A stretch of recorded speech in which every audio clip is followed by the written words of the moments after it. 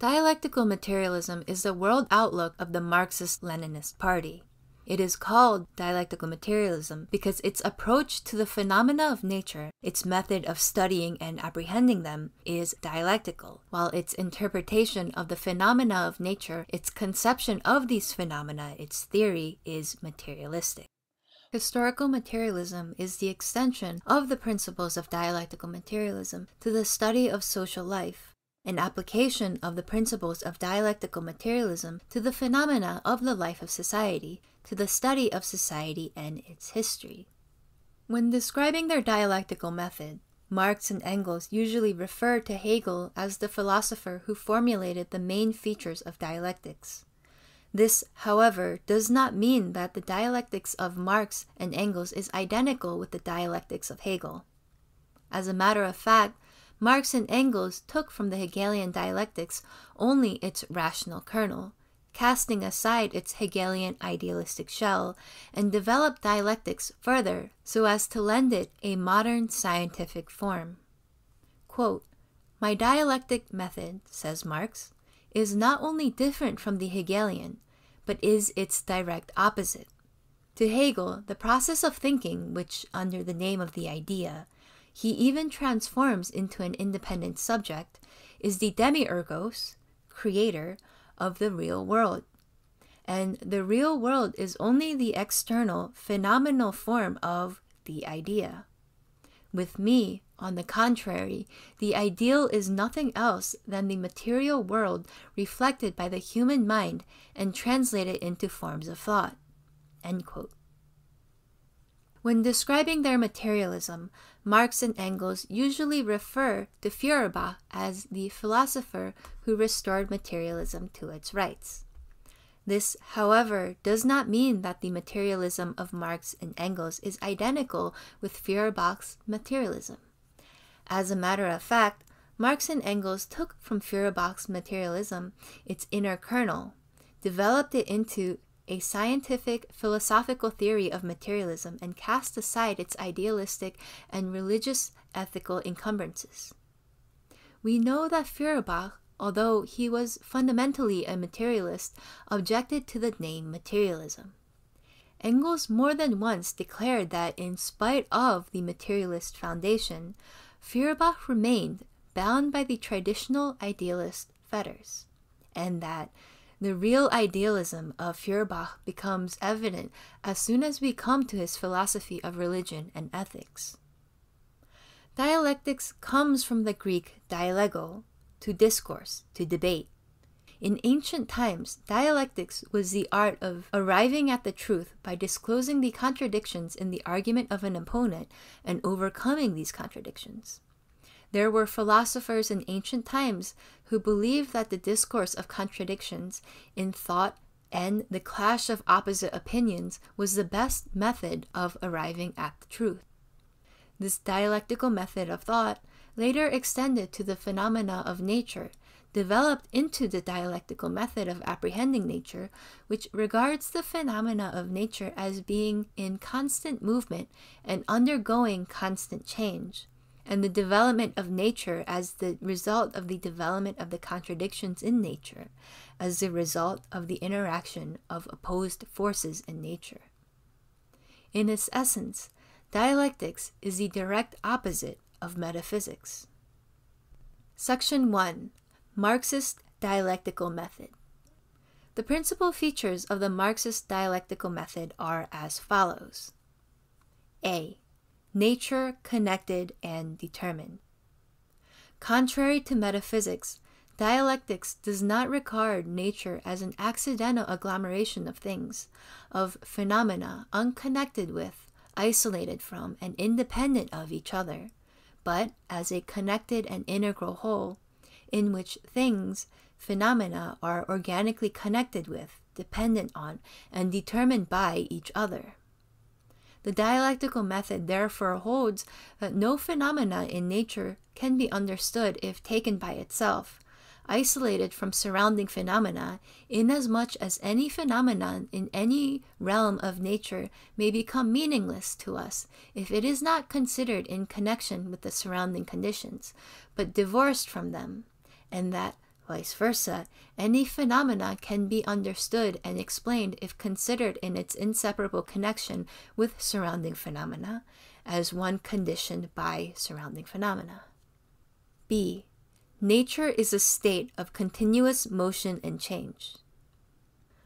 Contrary to metaphysics, dialectics holds that nature is not a state of rest and immobility, stagnation and immutability, but a state of continuous movement and change, of continuous renewal and development, where something is always arising and developing, and something always disintegrating and dying away. The dialectical method therefore requires that phenomena should be considered not only from the standpoint of their interconnection and interdependence, but also from the standpoint of their movement, their change, their development, their coming into being and going out of being. The dialectical method regards as important primarily not that which at any given moment seems to be durable and yet is already beginning to die away, but that which is arising and developing, even though at the given moment it may appear to be not durable. For the dialectical method considers invincible only that which is arising and developing. Quote, All nature, says Engels, from the smallest thing to the biggest, from grains of sand to suns, from protista, the primary living cells, to man, has its existence in eternal coming into being and going out of being, in ceaseless flux, in unresting motion and change.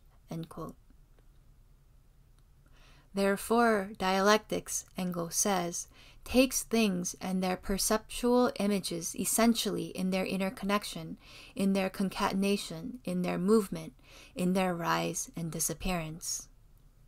C. Natural quantitative change leads to qualitative change. Contrary to metaphysics, dialectics does not regard the process of development as a simple process of growth where quantitative changes do not lead to qualitative changes, but as a development which passes from insignificant and imperceptible quantitative changes to open fundamental changes, to qualitative changes. A development in which the qualitative changes occur not gradually but rapidly and abruptly, taking the form of a leap from one state to another. They occur not accidentally, but as the natural result of an accumulation of imperceptible and gradual quantitative changes. The dialectical method therefore holds that the process of development should be understood not as a movement in a circle, not as a simple repetition of what has already occurred, but as an outward and upward movement, as a transition from an old qualitative state to a new qualitative state as a development from the simple to the complex, from the lower to the higher. Quote, Nature, says Engels, is the test of dialectics, and it must be said for modern natural science that it has furnished extremely rich and daily increasing materials for this test, and has thus proved that in the last analysis, nature's process is dialectical and not metaphysical that it does not move in an eternally uniform and consistently repeated circle, but passes through a real history.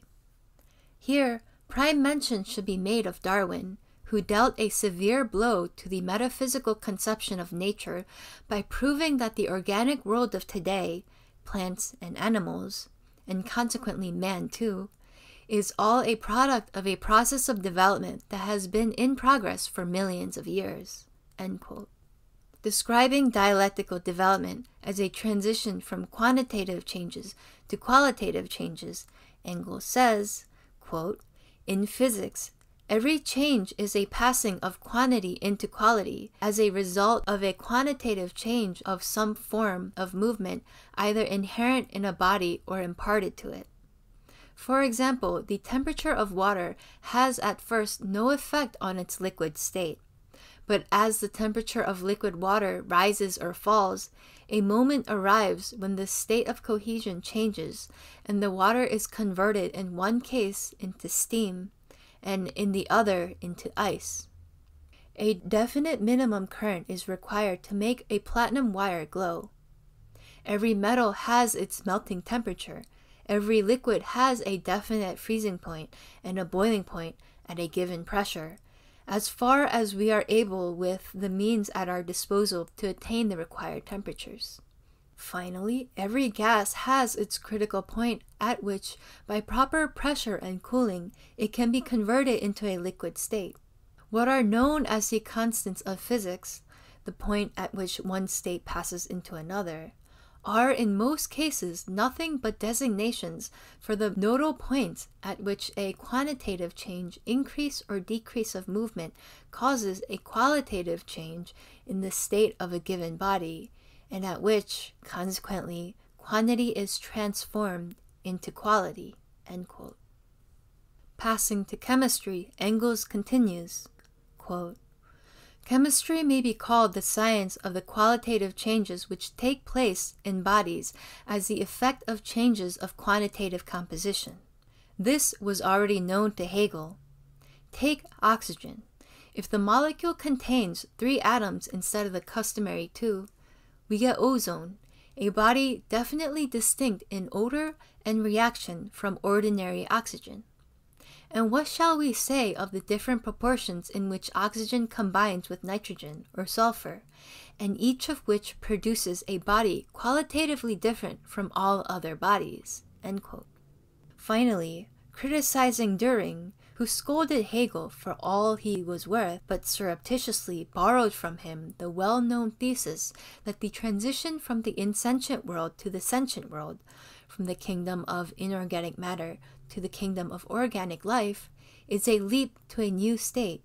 Engels says, quote, This is precisely the Hegelian nodal line of measure relations, in which, at certain definite nodal points, the purely quantitative increase or decrease gives rise to a qualitative leap.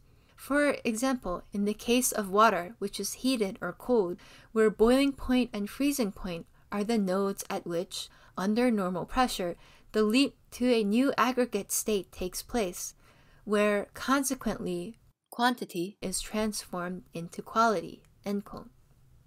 D. Contradictions inherent in nature. Contrary to metaphysics, dialectics holds that internal contradictions are inherent in all things and phenomena of nature, for they all have their negative and positive sides, a past and a future, something dying away and something developing, and that the struggle between these opposites, the struggle between the old and the new, between that which is dying away and that which is being born, between that which is disappearing and that which is developing, constitutes the internal content of the process of development, the internal content of the transformation of quantitative changes into qualitative changes. The dialectical method therefore holds that the process of development from the lower to the higher takes place not as a harmonious unfolding of phenomena, but as a disclosure of the contradictions inherent in things and phenomena, as a struggle of opposite tendencies which operate on the basis of these contradictions. Quote, in its proper meaning, Lenin says, dialectics is the study of the contradiction within the very essence of things. And further, quote, development is the struggle of opposites. Such, in brief, are the principal features of the Marxist dialectical method. It is easy to understand how immensely important is the extension of the principles of the dialectical method to the study of social life and the history of society, and how immensely important is the application of these principles to the history of society and to the practical activities of the party of the proletariat. If there are no isolated phenomena in the world, if all phenomena are interconnected and interdependent, then it is clear that every social system and every social movement in history must be evaluated not from the standpoint of eternal justice or some other preconceived idea, as is not infrequently done by historians, but from the standpoint of the conditions which gave rise to the system or that social movement and with which they are connected. The slave system would be senseless, stupid, and unnatural under modern conditions But under the conditions of a disintegrating primitive communal system, the slave system is a quite understandable and natural phenomenon since it represents an advance on the primitive communal system. The demand for a bourgeois democratic republic when tsardom and bourgeois society existed, as, let us say, in Russia in 1905, was a quite understandable, proper, and revolutionary demand. For at that time, a bourgeois republic would have meant a step forward. But now, under the conditions of the USSR, the demands for a bourgeois democratic republic would be a senseless and counter revolutionary demand for a bourgeois republic would be a retrograde step compared with the Soviet Republic. Everything depends on the conditions, time, and place. It is clear that without such a historical approach to social phenomena, the existence and development of the science of history is impossible, for only such an approach saves the science of history from becoming a jumble of accidents and an agglomeration of most absurd mistakes. Further, if the world is in a state of constant movement and development, if the dying away of the old and the upgrowth of the new is a law of development, then it is clear that there can be no immutable social systems, no eternal principles of private property and exploitation, no eternal ideas of the subjugation of the peasant to the landlord, of the worker to the capitalist. Hence, the capitalist system can be replaced by the socialist system, just as at one time the feudal system was replaced by the capitalist system. Hence, we must not base our orientation on the strata of society which are no longer developing, even though they at present constitute the predominant force, but on those strata which are developing and have a future before them, even though they at present do not constitute the predominant force. In the 80s of the past century, in the period of the struggle between the Marxists and the Narodniks, the proletariat in Russia constituted an insignificant minority of the population, whereas the individual peasants constituted the vast majority of the population. But the proletariat was developing as a class, whereas the peasantry as a class was disintegrating. And just because the proletariat was developing as a class, the Marxists based their orientation on the proletariat. And they were not mistaken, for, as we know, the proletariat subsequently grew from an insignificant force into a first rate historical and political force. Hence, in order not to err in policy, one must look forward, not backward. Further, if the passing of slow quantitative changes into rapid and abrupt qualitative changes is a law of development, then it is clear that revolutions made by oppressed classes are a quite natural and inevitable phenomenon.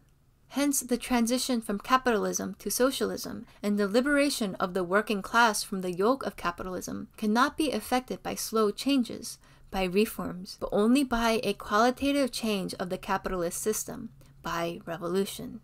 Hence, in order to not err in policy, one must be a revolutionary, not a reformist. Further, if development proceeds by the way of disclosure of internal contradictions, by way of collisions between opposite forces of the basis of these contradictions, and so as to overcome these contradictions, then it is clear that the class struggle of the proletariat is a quite natural and inevitable phenomenon. Hence, we must not cover up the contradictions of the capitalist system, but disclose and unravel them. We must not try to check the class struggle, but carry it to its conclusion.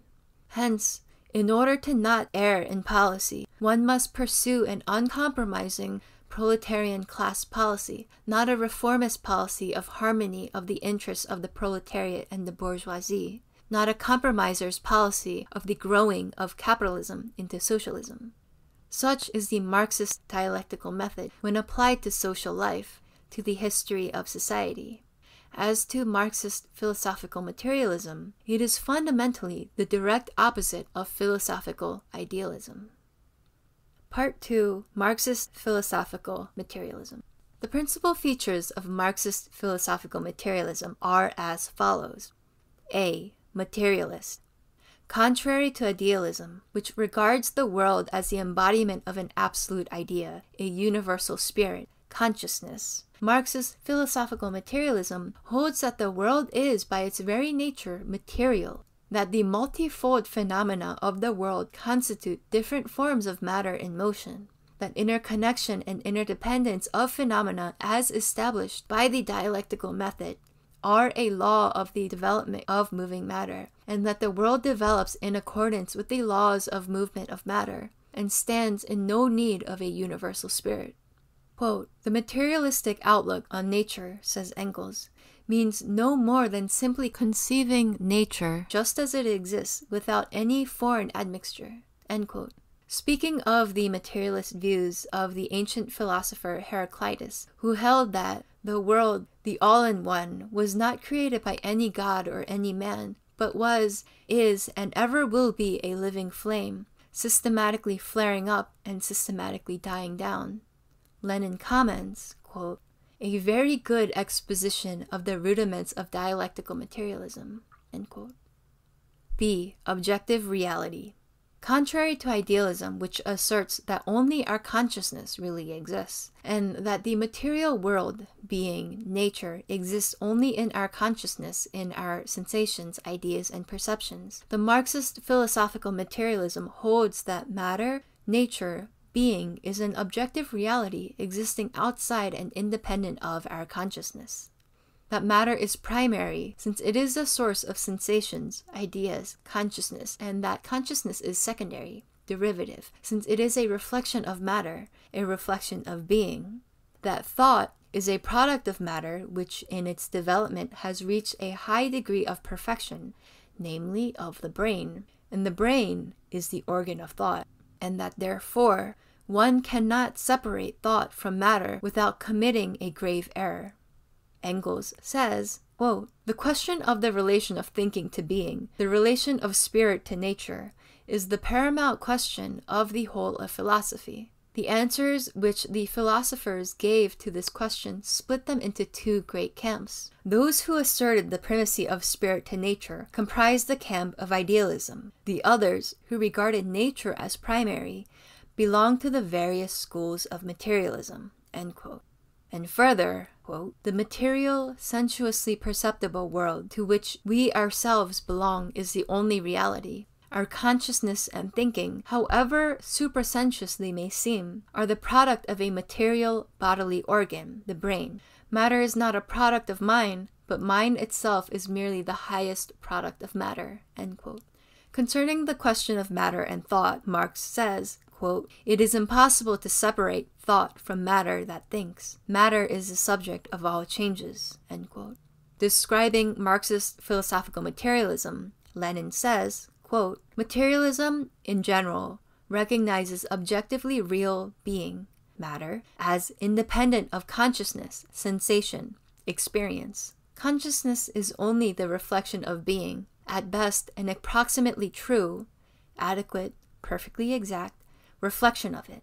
And further, quote, matter is that which, acting upon our sense organs, produces sensation, Matter is the objective reality given to us in sensation.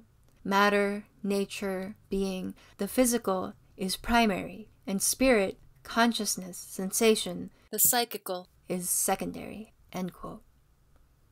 Quote, the world picture is a picture of how matter moves and how matter thinks. And lastly, quote, the brain is the organ of thought. C. The world and its laws are knowable. Contrary to idealism, which denies the possibility of knowing the world and its laws, which does not believe in the authenticity of our knowledge, does not recognize objective truth, and holds that the world is full of things in themselves that can never be known to science.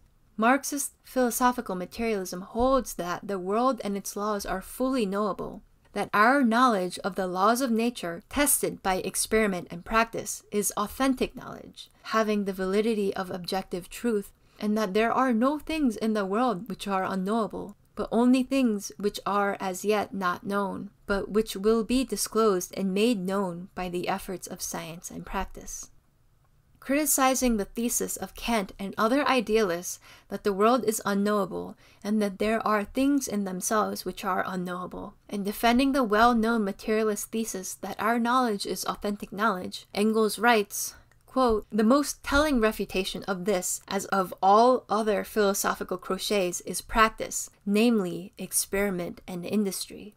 If we are able to prove the correctness of our conception of a natural process by making it ourselves, bringing it into being out of its conditions, and making it serve our own purposes into the bargain, then there is an end to the Kantian ungraspable thing in itself. The chemical substances produced in the bodies of plants and animals remained such things in themselves until organic chemistry began to produce them one after another, whereupon the thing in itself became a thing for us, as, for instance, alizarin, the coloring matter of the madder, which we no longer trouble to grow ill the madder roots in the field, but produce much more cheaply and simply from coal tar.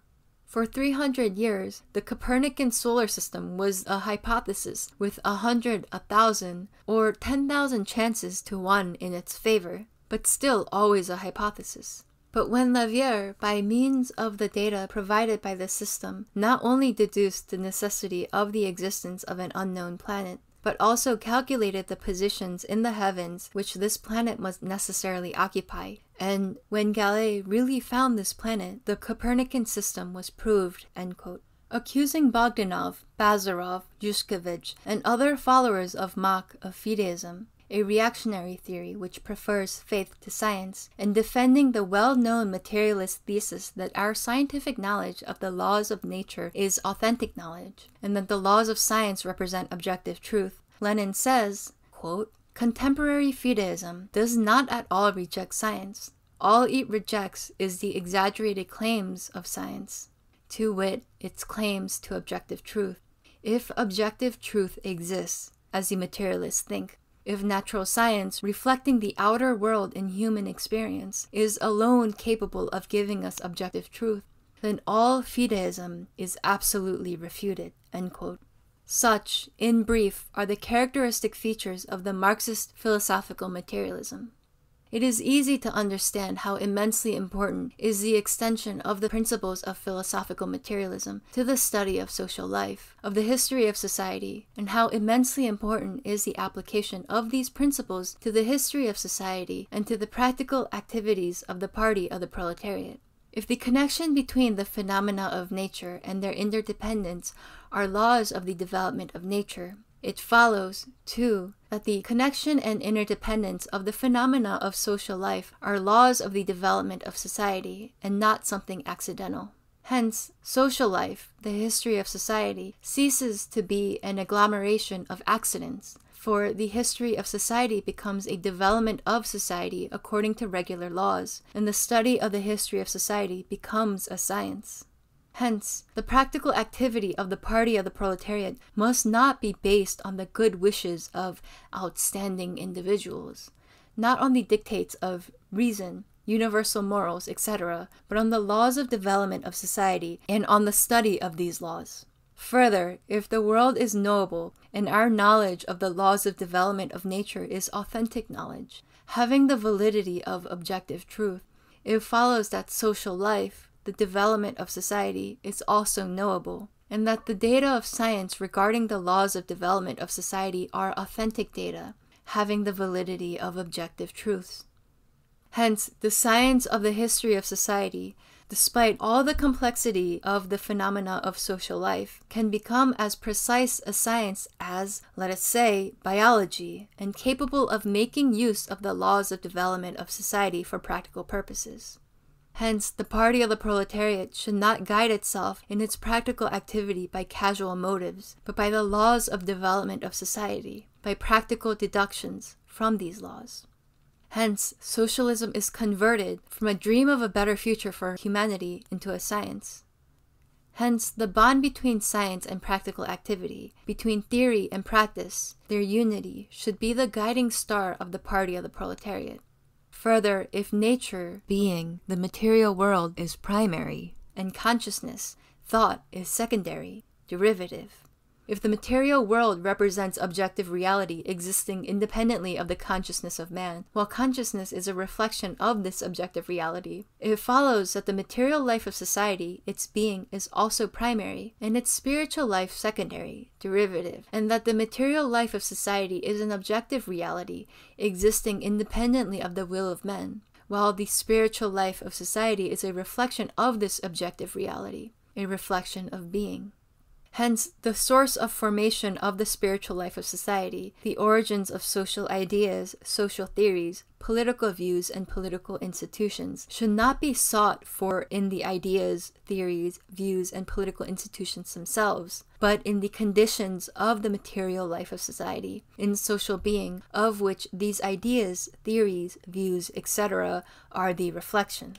Hence, if in the different periods of the history of society, different social ideas, theories, views, and political institutions are to be observed, if under the slave system we encounter certain social ideas, theories, views, and political institutions, under feudalism others, and under capitalism others still, this is not to be explained by the nature, the properties of the ideas, theories, views, and political institutions themselves, but by the different conditions of the material life of society at different periods of social development.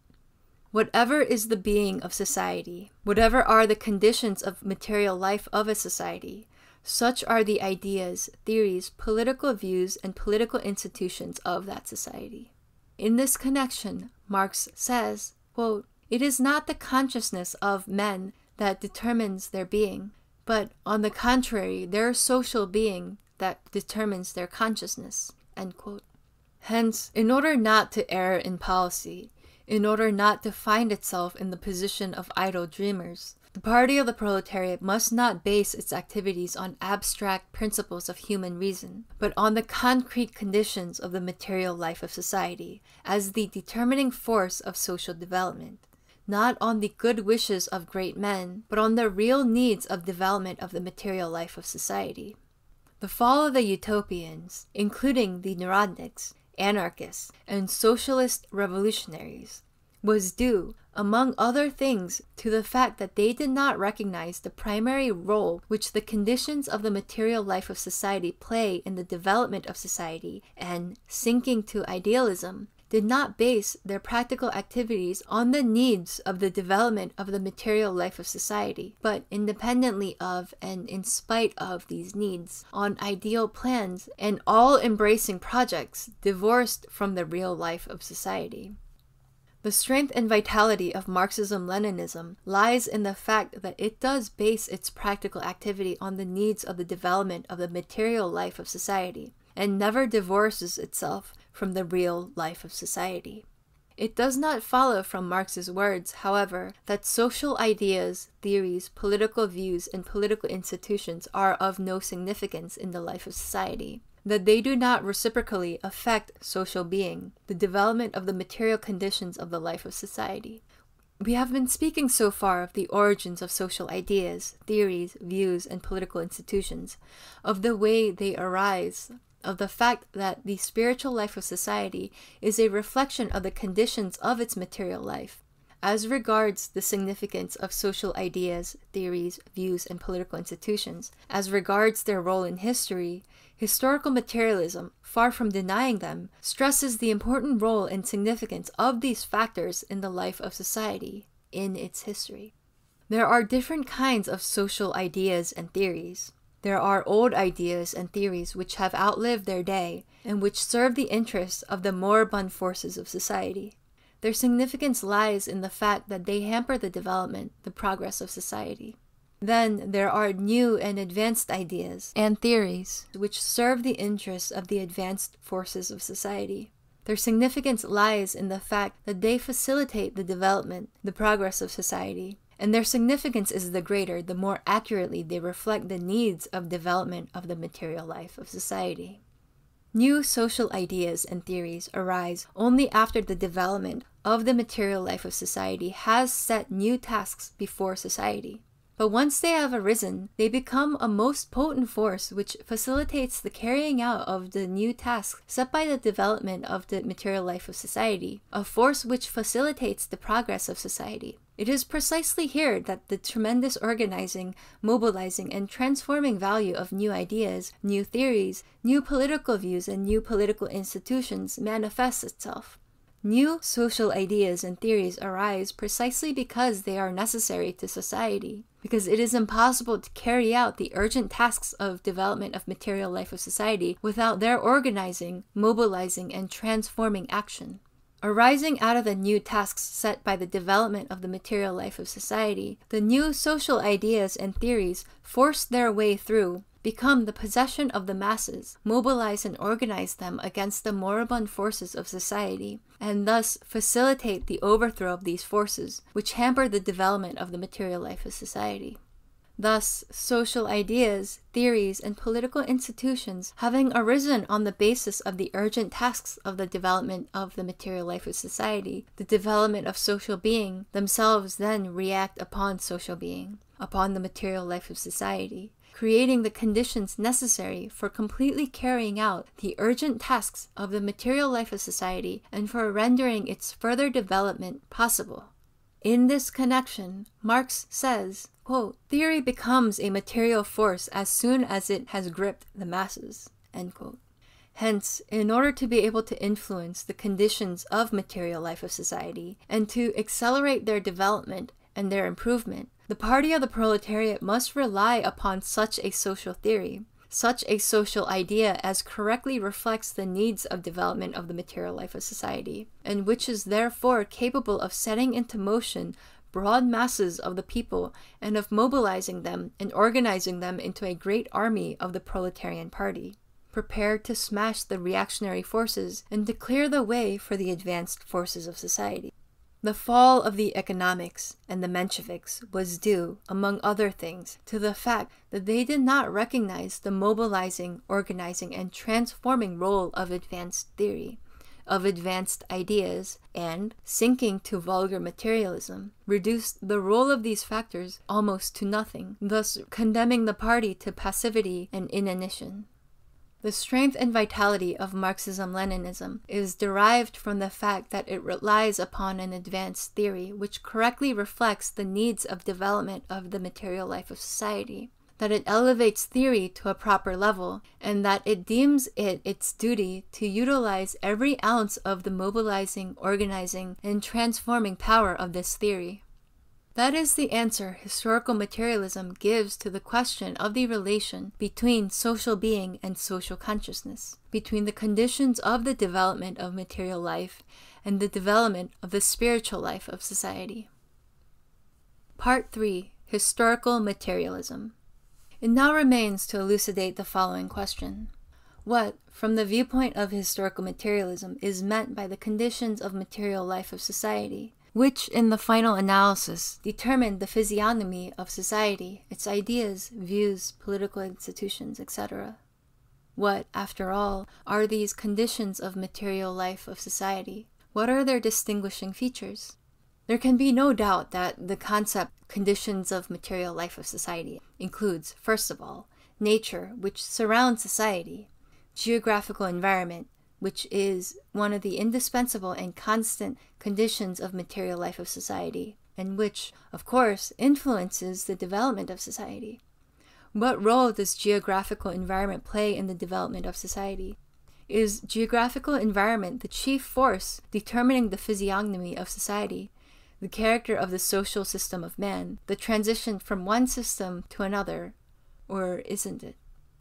Historical materialism answers this question in the negative. Geographical environment is unquestionably one of the constant and indispensable conditions of development of society, and of course influences the development of society, accelerates or retards its development but its influence is not the determining influence, inasmuch as the changes and development of society proceed at an incomparably faster rate than the changes and development of geographical environment. In the space of 3,000 years, three different social systems have been successively superseded in Europe the primitive communal system, the slave system, and the feudal system. In the eastern part of Europe, in the USSR, even four social systems have been superseded. Yet during this period, geographical conditions in Europe have either not changed at all or have changed so slightly that geography takes no note of them. And that is quite natural. Changes in geographical environment of any importance requires millions of years, whereas a few hundred or a couple thousand years are enough for even very important changes in the history of human society. It follows from this that geographical environment cannot be the chief cause, the determining cause of social development. For that which remains almost unchanged in the course of tens of thousands of years cannot be the chief cause of development of that which undergoes fundamental changes in the course of a few hundred years. Further, there can be no doubt that the concept conditions of material life of society also includes growth of population, density of population of one degree or another. For people are an essential element in the conditions of material life of society, and without a definite minimum number of people, there can be no material life of society. Is growth of population the chief force that determines the character of the social system of man, or isn't it? Historical materialism answers this question too in the negative. Of course, growth of population does influence the development of society, does facilitate or retard the development of society, but it cannot be the chief force of development of society, and its influence on the development of society cannot be the determining influence because, by itself, growth of population does not furnish the clue to the question why a given social system is replaced precisely by such and such a new system, and not by another.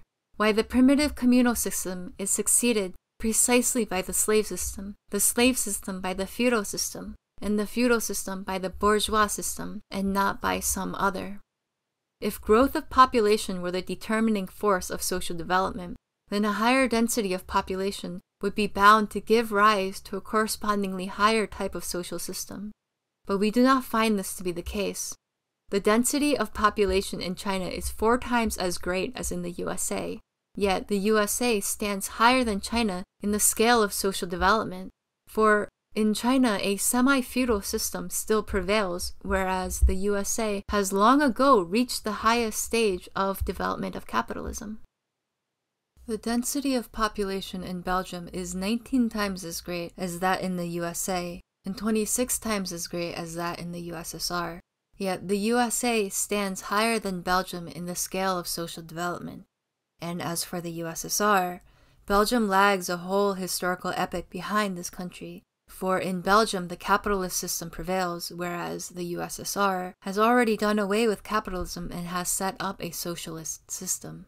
It follows from this that the growth of population is not and cannot be the chief force of development of society, the force which determines the character of the social system, the physiognomy of society.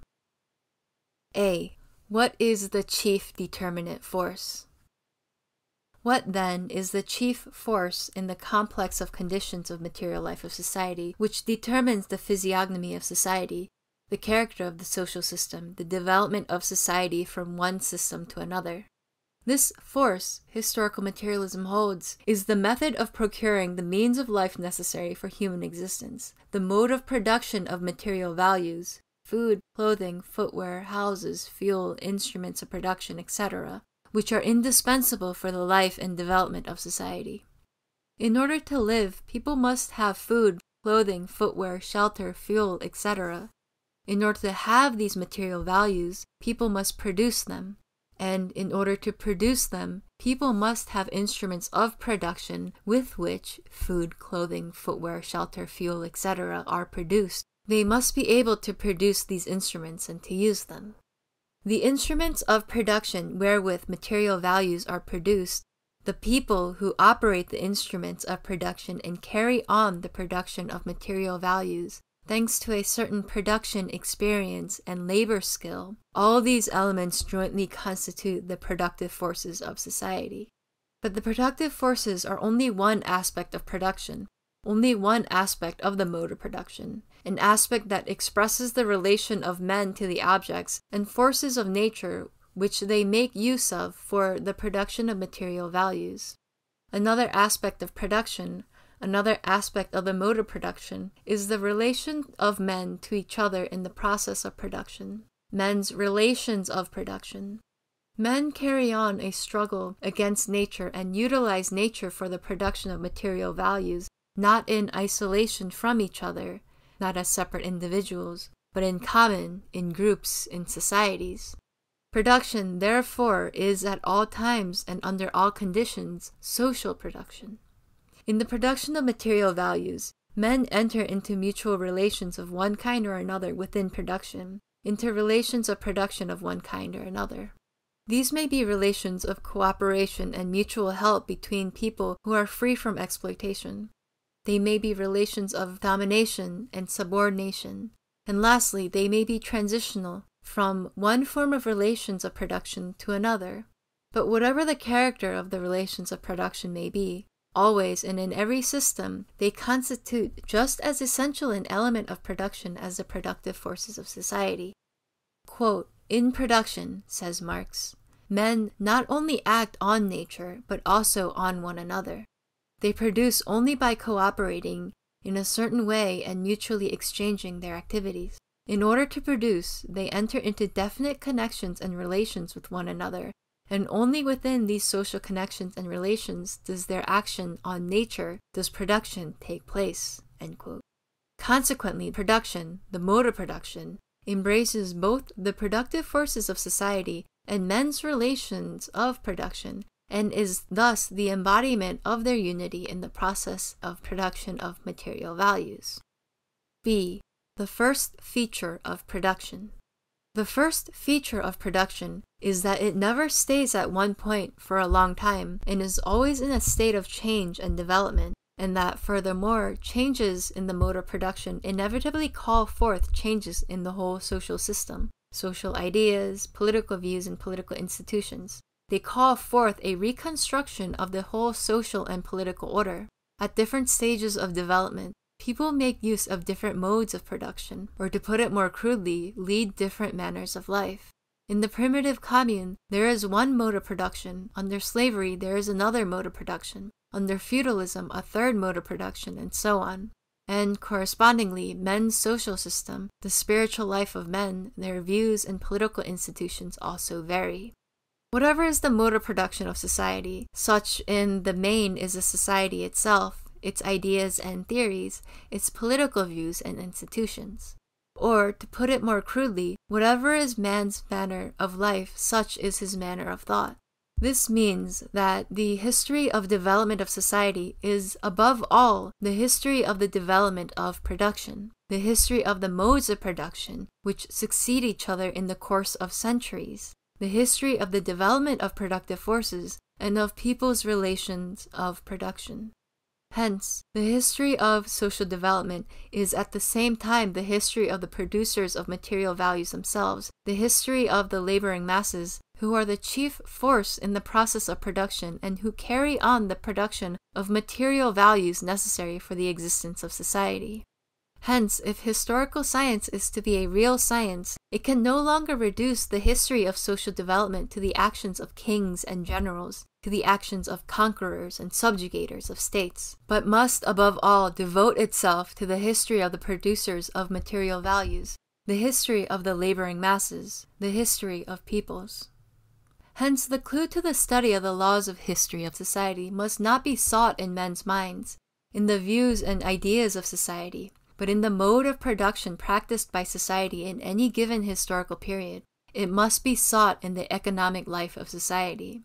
Hence, the prime task of historical science is to study and disclose the laws of production, the laws of development of the productive forces and of the relations of production, the laws of economic development of society. Hence, if the party of the proletariat is to be a real party, it must above all acquire a knowledge of the laws of development of production, of the laws of economic development of society. Hence, if it is not to err in policy, the party of the proletariat must both in drafting its program and in its practical activities proceed primarily from the laws of development of production, from the laws of economic development of society. C. The second feature of production. The second feature of production is that its changes and development always begin with changes and development of the productive forces, and in the first place, with changes and development of the instruments of production. Productive forces are therefore the most mobile and revolutionary element of productions. First, the productive forces of society change and develop, and then, depending on these changes and in conformity with them, men's relations of production, their economic relations, change. This, however, does not mean that the relations of production do not influence the development of the productive forces, and that the latter are not dependent upon the former. While their development is dependent on the development of the productive forces, the relations of production in their turn react upon the development of the productive forces, accelerating or retarding it. In this connection, it should be noted that the relations of production cannot for too long a time lag behind and be in a state of contradiction to the growth of the productive forces, inasmuch as the productive forces can develop in full measure only when the relations of production correspond to the character the state of the productive forces and allow full scope for their development. Therefore, however much the relations of production may lag behind the development of the productive forces, they must, sooner or later, come into correspondence with, and actually do come into correspondence with, the level of development of the productive forces, the character of the productive forces. Otherwise, we would have a fundamental violation of the unity of the productive forces of the relations of production within the system of production, a disruption of production as a whole, a crisis of production, a destruction of productive forces. An instance in which the relations of production do not correspond to the character of the productive forces, conflict with them, is the economic crises in capitalist countries, where private capitalist ownership of the means of production is in glaring incongruity with the social character of this process of production, with the character of the productive forces. This results in economic crises, which lead to the destruction of productive forces.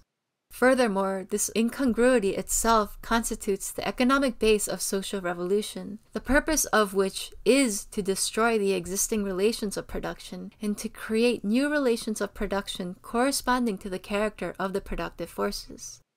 In contrast, an instance in which the relations of production completely correspond to the character of the productive forces is the socialist national economy of the USSR, where the social ownership of the means of production fully corresponds to the social character of the process of production, and where, because of this, economic crises and the destruction of productive forces are unknown. Consequently, the productive forces are not only the most mobile and revolutionary element in production, but are also the determining element in the development of production. Whatever are the productive forces, such must be the relations of production. While the state of the productive forces furnishes the answer to the question, with what instruments of production do men produce the material values they need, the state of the relations of production furnishes the answers to another question who owns the means of production? The land, forests, waters, mineral resources, raw materials, instruments of production, production premises, means of transportation and communication, etc. Who commands the means of production, whether the whole of society, or individual persons, groups, or classes which utilize them for the exploitation of other persons, groups, or classes? Here is a rough picture of the development of productive forces from ancient times to our day. The transition from crude stone tools to the bow and arrow, and the accompanying transition from the life of hunters to the domestication of animals and primitive pasturage. The transition from stone tools to metal tools, the iron axe, the wooden plow fitted with an iron coulter, etc., with a corresponding transition to tillage and agriculture. A further improvement in metal tools for the working up of materials, the introduction of the blacksmith's bellows, the introduction of pottery with the corresponding development of handicrafts, the separation of handicrafts from agriculture, the development of an independent handicraft industry and, subsequently, of manufacture, the transition from handicraft tools to machines, and the transformation of handicraft and manufacture into machine industry, the transition to the machine system, and the rise of modern large scale machine industry, Such is a general and far from complete picture of the development of the productive forces of society in the course of man's history. It will be clear that the development and improvement of the instruments of production was effected by men who were related to production, and not independently of men and consequently the change and development of the instruments of production was accompanied by a change and development of men as the most important element of the productive forces by a change and development of their production experience, their labor skill, their ability to handle the instruments of production. In conformity with the change and development of the productive forces of society in the course of history, men's relations of production, their economic relations also changed and developed Main types of relations of production. Five main types of relations of production are known to history primitive communal, slave, feudal, capitalist, and socialist. The basis of the relations of production under the primitive communal system is that the means of production are socially owned. This, in the main, corresponds to the character of the productive forces of that period. Stone tools, and later the bow and arrow, precluded the possibility of men individually combating the forces of nature and beasts of prey. In order to gather the fruits of the forest, to catch fish, to build some sort of habitation, men were obliged to work in common if they did not want to die of starvation or fall victims to beasts of prey or to neighboring societies. Labor in common led to the common ownership of the means of production, as well as the fruits of production. Here, the conception of private ownership of the means of production did not yet exist, except for the personal ownership of certain implements of production, which were at the same time means of defense against the beasts of prey. Here, there was no exploitation, no classes. The basis of the relations of production under the slave society is that the slave owner owns the means of production. He also owns the worker in production, the slave whom he can sell, purchase, or kill as though he were an animal.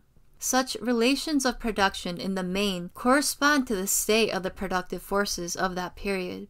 Instead of stone tools, men now have metal tools at their command instead of the wretched and primitive husbandry of the hunter, who knew neither pasturage nor tillage. There now appear pasturage, tillage, handicrafts, and a division of labor between these branches of production there appears the possibility of the exchange of products between individuals and between societies, of the accumulation of wealth in the hands of the few, the actual accumulation of the means of production in the hands of a minority, and the possibility of subjugation of the majority by a minority and the conversion of the majority into slaves. Here we no longer find the common and free labor of all members of society in the production process. Here, there prevails the forced labor of slaves who are exploited by the non laboring slave owners.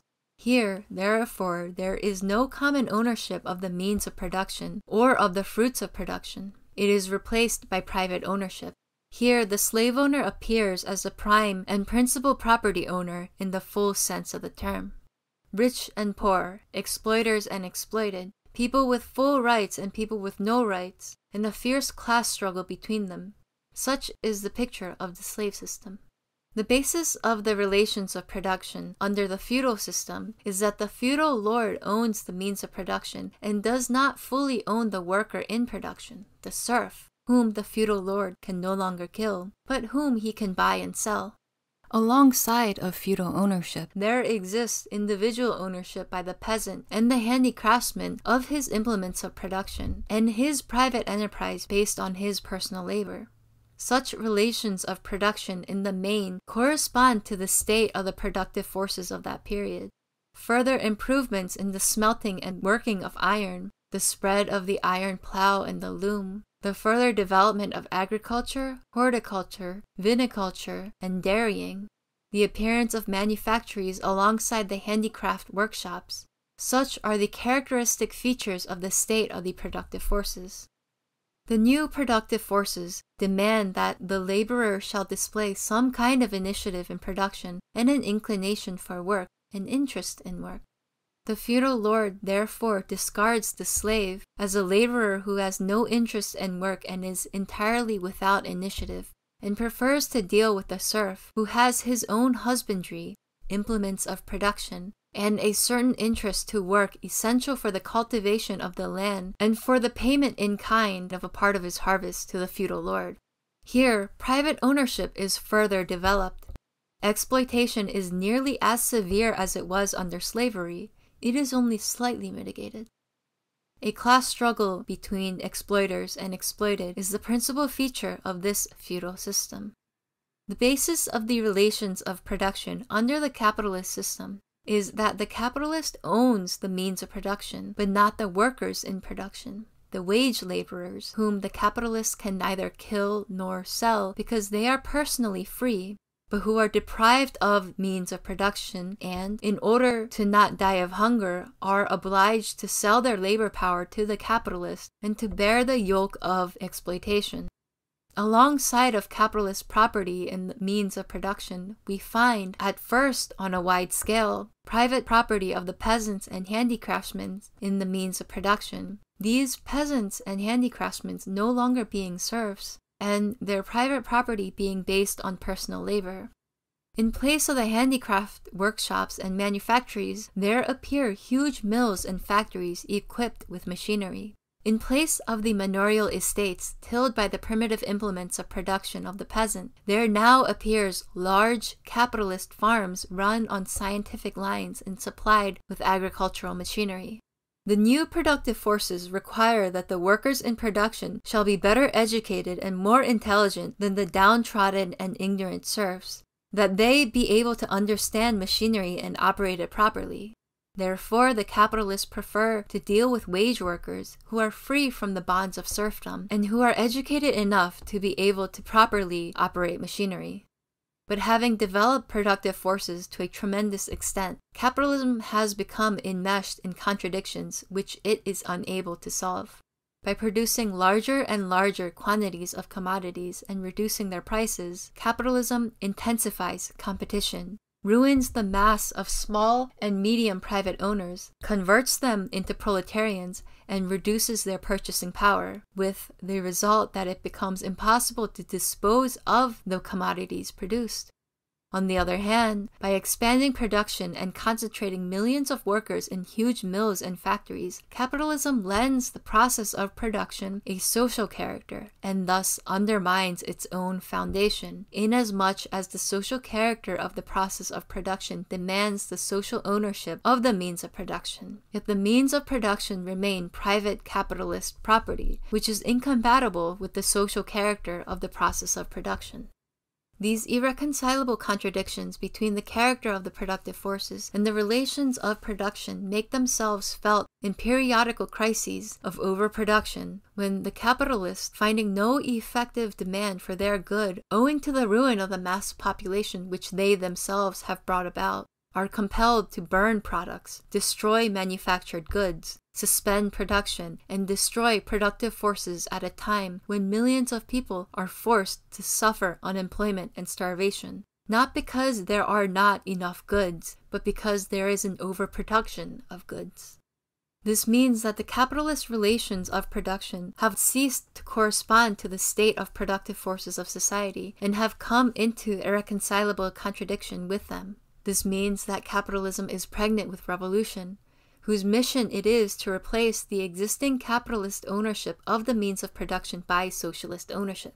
This means that the main feature of the capitalist system is a most acute class struggle between the exploiters and the exploited. The basis of the relations of production under the socialist system, which so far has been established only in the USSR, is the social ownership of the means of production. Here, there are no longer exploiters and exploited. The goods produced are distributed according to labor performed, on the principle, he who does not work, neither shall he eat. Here, the mutual relations of people in the process of production are marked by comradely cooperation and the socialist mutual assistance of workers who are free from exploitation. Here, the relations of production fully correspond to the state of productive forces, for the social character of the process of production is reinforced by the social ownership of the means of production. For this reason, socialist production in the USSR knows no periodical crises of overproduction and their accompanying absurdities. For this reason, the productive forces here develop at an accelerated pace, for the relations of production that correspond to them offer full scope of such development. Such is the picture of the development of men's relations of production in the course of human history. Such is the dependence of the development of the relations of production on the development of the productive forces of society, and primarily on the development of the instruments of production, the dependence of virtue of which the changes and development of the productive forces sooner or later lead to corresponding changes and development of the relations of production. Quote, the use and fabrication of instruments of labor, says Marx, although existing in the germ among certain species of animals, is specifically characteristic of the human labor process, and Franklin therefore defines man as a tool making animal.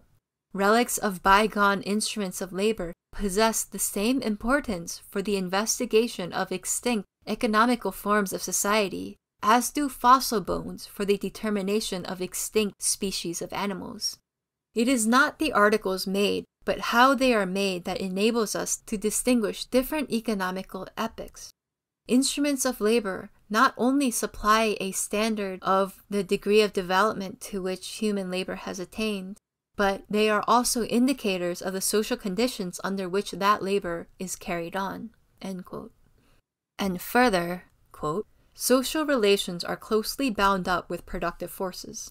In acquiring new productive forces, men change their mode of production, and in changing their mode of production, in changing the way of earning their living, they change all their social relations. The hand mill gives you society with the feudal lord, the steam mill, society with the industrial capitalist. Quote. Quote, there is a continual movement of growth in productive forces, of destruction in social relations, of formation in ideas. The only immutable thing is the abstraction of movement. Speaking of historical materialism as formulated in the Communist Manifesto, Engels says, quote, Economic production and the structure of society of every historical epoch necessarily arising therefrom constitute the foundation for the political and intellectual history of that epoch. Consequently, ever since the dissolution of the primeval communal ownership of land, all history has been a history of class struggles, of struggles between exploited and exploiting, between dominated and dominating classes of various stages of social development. This struggle, however, has now reached a stage where the exploited and oppressed class, the proletariat, can no longer emancipate itself from the class which exploits and oppresses it, the bourgeoisie, without at the same time forever freeing the whole of society from exploitation, oppression, and class struggles. D. The third feature of production. The third feature of production is that the rise of new productive forces and of the relations of production corresponding to them does not take place separately from the old system, under the disappearance of the old system, but within the old system. It takes place not as a result of the deliberate and conscious activity of man, but spontaneously, unconsciously, independently of the will of man. It takes place spontaneously and independently of the will of man for two reasons. Firstly, because men are not free to choose one mode of production or another, because as every new generation enters life, it finds productive forces and relations of production already existing as the result of the work of former generations, owing to which it is obliged at first to accept and adapt itself to everything it finds ready made in the sphere of production in order to be able to produce material values. Secondly, because when improving one instrument of production or another, one clement of the productive forces or another, men do not realize, do not understand, or stop to reflect what social relations these improvements will lead to, but only think of their everyday interests, of lightening their labor, and of securing some direct and tangible advantage for themselves. When gradually and gropingly certain members of primitive communal society passed from the use of stone tools to the use of iron tools, They, of course, did not know and did not stop to reflect what social results this innovation would lead to. They did not understand or realize that the change to metal tools meant a revolution in production, that it would in the long run lead to the slave system. They simply wanted to lighten their labor and secure an immediate and tangible advantage. Their conscious activity was confined within the narrow bounds of this everyday personal interest.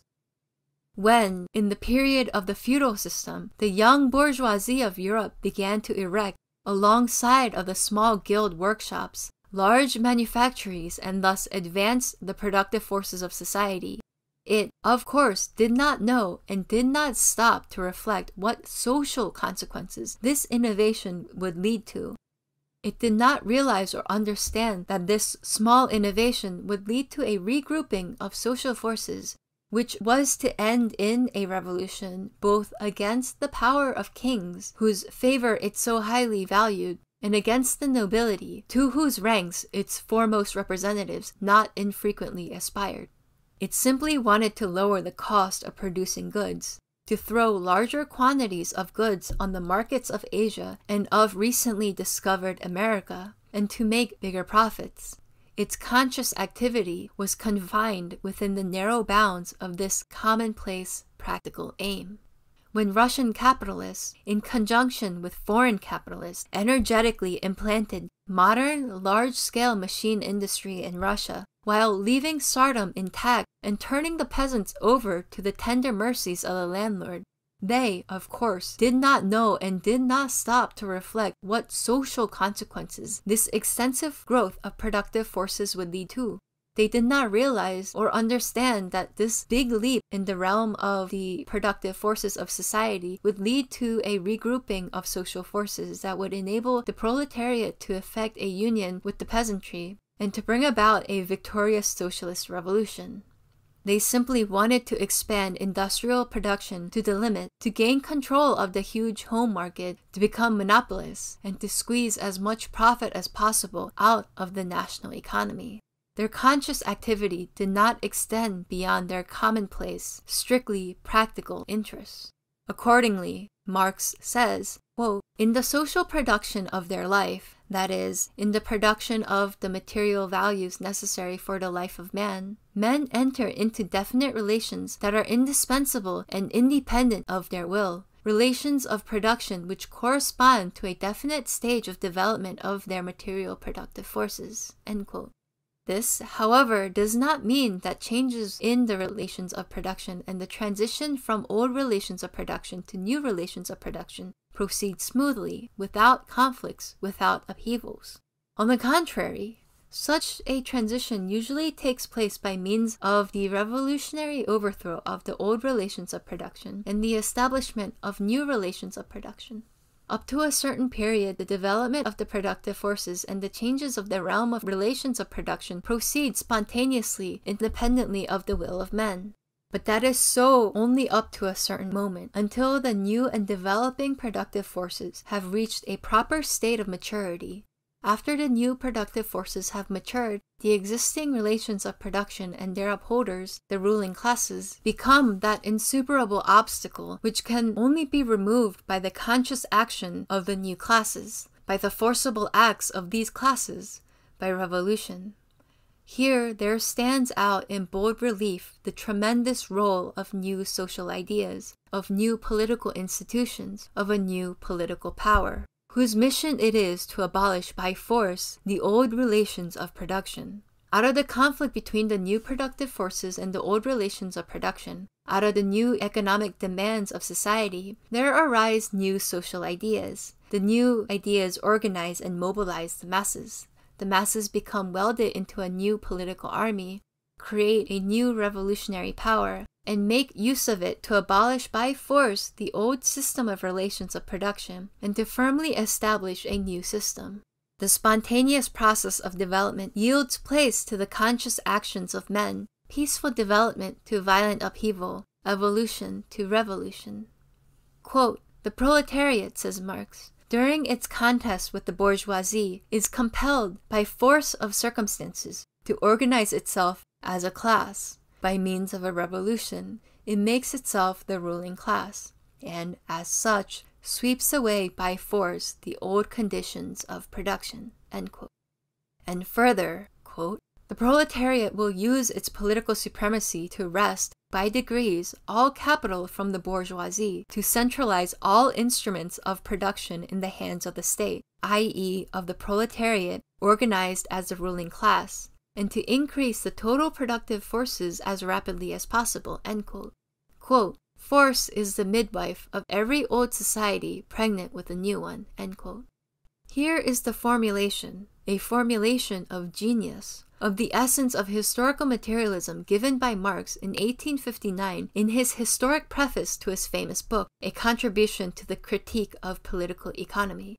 Quote, in the social production of their life, men enter into definite relations that are indispensable and independent of their will, relations of production which correspond to a definite stage of development of their material productive forces. The sum total of these relations of production constitute the economic structure of society, the real foundation on which rises a legal and political superstructure and to which correspond definite forms of social consciousness. The mode of production of material life conditions the social, political, and intellectual life process in general. It is not the consciousness of men that determine their being, but on the contrary, their social being that determines their consciousness. At a certain stage of their development, the material productive forces of society come into conflict with the existing relations of production, or what is but a legal expression for the same thing, with the property relations within which they have been at work hitherto. From forms of development of the productive forces, these relations turn into their fetters. Then begins an epoch of social revolution. With the change of the economic foundation, the immense superstructure is more or less rapidly transformed. In considering such transformations, a distinction should always be made between the material transformation of the economic conditions of production, which can be determined with the precision of natural science, and the legal, political, religious, aesthetic, or philosophic, in short, ideological forms in which men become conscious of this conflict and fight it out. Just as our opinion of an individual is not based on what he thinks of himself, so can we not judge such a period of transformation by its own consciousness. On the contrary, this consciousness must be explained rather from the contradictions of material life, from the existing conflict between the social productive forces and the relations of production. No social order ever perishes before all the productive forces for which there is room in it have developed. And New, higher relations of production never appear before the material conditions of their existence have matured in the womb of the old society itself. Therefore, mankind always sets itself only such tasks as it can solve, since looking at the matter more closely, it will always be found that the task itself arises only when the material conditions for its solution already exist or are at least in the process of formation. Such is the Marxist materialism as applied to social life, to the history of society. Such are the principal features of the dialectical and historical materialism.